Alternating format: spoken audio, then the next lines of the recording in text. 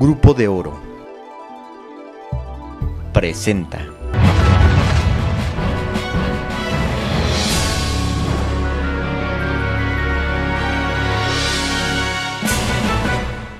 Un grupo de profesores de la sección 18 de la Coordinadora Nacional de Trabajadores de la Educación, que se instalaron frente al Congreso del Estado, quemaron papeletas de evaluación docente para dejar patente su rechazo a esta medida de la Secretaría de Educación Pública. Es necesario que todos juntos levantemos la voz para rechazar de necesitando a lo largo y ancho de todo el país. Compañeros y compañeras,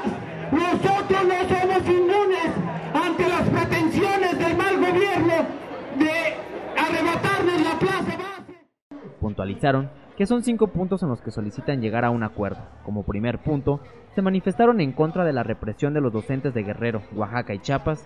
Asimismo, exigen el esclarecimiento total del asesinato del compañero Antonio Vivar Díaz de Guerrero.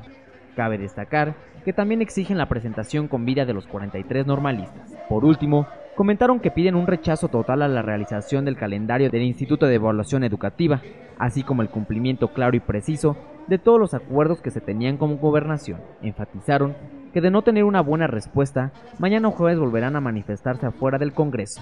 Con imágenes de José Hernández e información de Viridiana Ferreira, Agencia Cuadratín.